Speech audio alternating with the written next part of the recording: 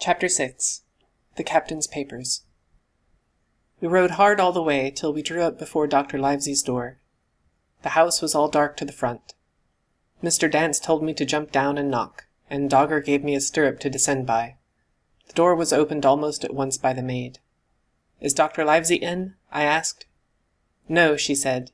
He had come home in the afternoon, but he had gone up to the hall to dine and pass the evening with the squire. So there we go, boys, said Mr. Dance. This time, as the distance was short, I did not mount, but ran with Dogger's stirrup leather to the lodge gates, and up the long leafless moonlit avenue to where the white line of the hall buildings looked on either hand on great old gardens. Here Mr. Dance dismounted, and, taking me along with him, was admitted at a word into the house. The servant led us down a matted passage, and showed us at the end to a great library, all lined with bookcases and busts upon the top of them, where the squire and Dr. Livesey sat, pipe in hand, on either side of a bright fire. I had never seen the squire so near at hand. He was a tall man, over six feet high, and broad in proportion, and he had a bluff, rough and ready face, all roughened and reddened and lined in his long travels. His eyebrows were very black, and moved readily, and this gave him a look of some temper, not bad, you would say, but quick and high. "Come in, Mr. Dance," says he, very stately and condescending. "Good evening, Dance," says the doctor, with a nod. "And good evening to you, friend Jim. What good wind brings you here?" The supervisor stood up straight and stiff, and told his story like a lesson, and you should have seen how the two gentlemen leaned forward and looked at each other, and forgot to smoke in their surprise and interest. When they heard how my mother went back to the inn, Dr. Livesey fairly slapped his thigh, and the squire called "Bravo!" and broke his long pipe against the grate.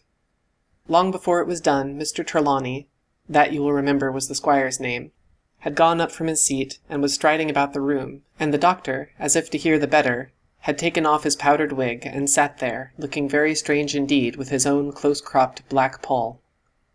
At last Mr. Dance finished the story. "Mr. Dance," said the squire.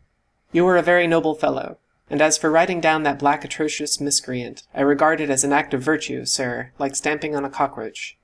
This lad Hawkins is a trump, I perceive. Hawkins, will you ring that bell? Mr. Dance must have some ale.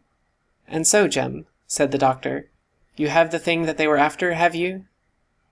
Here it is, sir, said I, and I gave him the oilskin packet. The doctor looked it all over, as if his fingers were itching to open it, but instead of doing that he put it quietly in the pocket of his coat. "Squire," said he, "when Dance has had his ale he must, of course, be off in his Majesty's service, but I mean to keep Jim Hawkins here to sleep at my house, and with your permission I propose we should have up the cold pie and let him sup." "As you will, Livesey," said the squire. "Hawkins has earned better than cold pie." So a big pigeon pie was brought in and put on a side table, and I made a hearty supper, for I was hungry as a hawk while Mr. Dance was further complimented and at last dismissed. "And now, squire," said the doctor. "And now, Livesey," said the squire in the same breath. "One at a time, one at a time," laughed Dr. Livesey. "You have heard of this Flint, I suppose?" "Heard of him!" cried the squire. "Heard of him, you say? He was the bloodthirstiest buccaneer that sailed. Blackbeard was a child to Flint. The Spaniards were so prodigiously afraid of him that, I tell you, sir, I was sometimes proud he was an Englishman. I've seen his topsails with these eyes, off Trinidad, and the cowardly son of a rumpuncheon that I sailed with put back, put back, sir, into port of Spain. Well, I've heard of him myself, in England, said the doctor, but the point is, had he money? Money? cried the squire. Have you heard the story? What were these villains after but money? What do they care for but money? For what would they risk their rascal carcasses but money? That we shall soon know, replied the doctor. But you are so confoundedly hot-headed and exclamatory that I cannot get a word in. What I want to know is this. Supposing that I have here in my pocket some clue to where Flint buried his treasure, will that treasure amount to much? Amount, sir? cried the squire. It will amount to this. If we have the clue you talk about, I fit out a ship in Bristol dock, and take you and Hawkins here along, and I'll have that treasure if I search a year. Very well, said the doctor. Now then, if Jim is agreeable, we'll open the packet and he laid it before him on the table. The bundle was sewn together, and the doctor had to get out his instrument case and cut the stitches with his medical scissors. It contained two things, a book and a sealed paper. First of all we'll try the book, observed the doctor. The squire and I were both peering over his shoulder as he opened it, for Dr. Livesey had kindly motioned me to come round from the side table, where I had been eating, to enjoy the sport of the search. On the first page there were only some scraps of writing, such as a man with a pen in his hand might make for idleness or practice. One was the same as the tattoo mark, Billy Bones his fancy. Then there was Mr. W. Bones, mate. No more rum. Off Palm Key he got it. And some other snatches mostly single words and unintelligible. I could not help wondering who it was that had got it, and what it was that he got, a knife in his back like as not. Not much instruction there, said Dr. Livesey, as he passed on. The next ten or twelve pages were filled with a curious series of entries.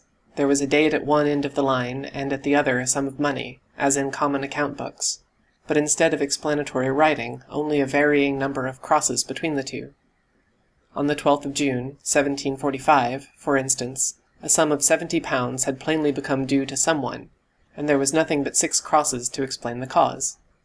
In a few cases, to be sure, the name of a place would be added, as off Caracas, or a mere entry of latitude and longitude, as 62 degrees 11 minutes 20 seconds, 19 degrees 2 minutes 40 seconds.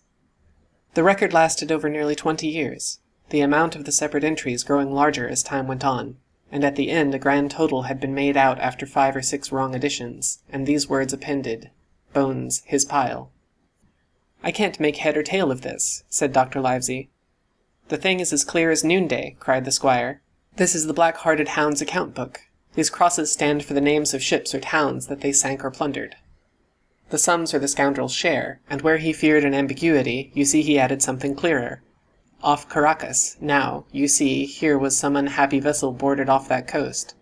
God help the poor souls that manned her. Coral long ago. Right, said the doctor. See what it is to be a traveller? Right, and the amounts increase, you see, as he rose in rank. There was little else in the volume out a few bearings of places noted in the blank leaves towards the end, and a table for reducing French, English, and Spanish moneys to a common value. Thrifty man, cried the doctor. He wasn't the one to be cheated. And now, said the squire, for the other. The paper had been sealed in several places with a thimble by way of seal, the very thimble, perhaps, that I had found in the captain's pocket. The doctor opened the seals with great care, and there fell out the map of an island, with latitude and longitude, soundings, names of hills, and bays and inlets, and every particular that would be needed to bring a ship to a safe anchorage upon its shores. It was about nine miles long and five across, shaped, you might say, like a fat dragon standing up, and had two fine landlocked harbours, and a hill in the centre part marked the Spyglass.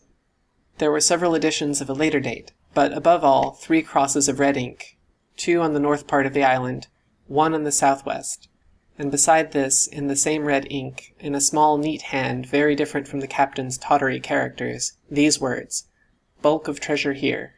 Over on the back the same hand had written this further information: Tall tree, spyglass shoulder, bearing a point to the north of north northeast. Skeleton Island, east southeast and by east. Ten feet. The bar silver is in the north cache. You can find it by the trend of the east hummock, ten fathoms south of the black crag with the face on it. The arms are easy found, in the sand hill, north point of North Inlet Cape, bearing east and a quarter north.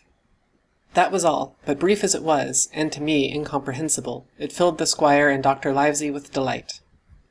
Livesey, said the squire, you will give up this wretched practice at once. Tomorrow I start for Bristol. In three weeks' time, three weeks, two weeks, ten days.